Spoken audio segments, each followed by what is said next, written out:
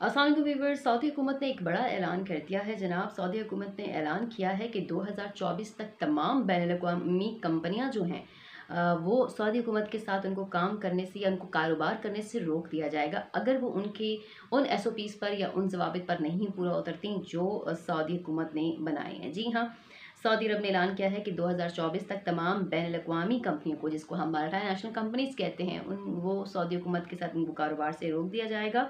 और सऊदी अरब ने जो है अपने जो ममलिकत का हेड क्वार्टर है, वहाँ से कुछ जो पॉलिसीज़ हैं, उनको दोबारा से रिवाइव किया है।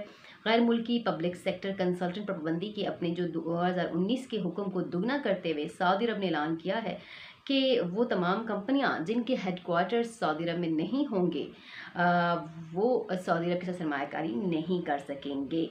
ये ज़रूरतमंदाना फ़ैसला जो है वो वली अहद शहजादा मोहम्मद बिन सलमान ने हाल ही में किया है और इसका मक, मकसद जो है वो दारकूमत में सरमाकारी को रागब करना है।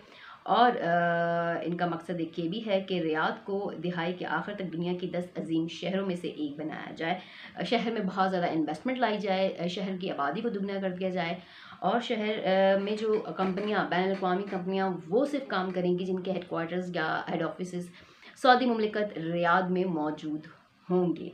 तो जनाब दस साल के अरसे में शहर की आबादी को दुगने से बीस मिलियन तक पहुँचाने के अपने हदफ को हासिल करने के लिए सऊदी हुकूमत बड़े मकामी मनसूबों में तकरीबन दो सौ बीस बिलियन डॉलर डालेगी, जिसकी इसे उम्मीद है कि निजी शोबे के सरमाकार इससे मुमासिल होंगे। इससे कबल जनाब, किंगडम की कौमी सरमाकारी एजेंसी इन्वेस्ट इन्वेस्ट सऊदिया ने अपना प्रोग्राम हेडक्वार्टर नकल मकानी का इकदाम शुरू किया था, जिसमें मल्टी नेशनल कंपनियों को मकामी तौर पर खुद को बुनियाद बनाने के लिए फ़राखदली से टैक्स में छूट और मज़ीद अमराद की पेशकश भी की गई थी।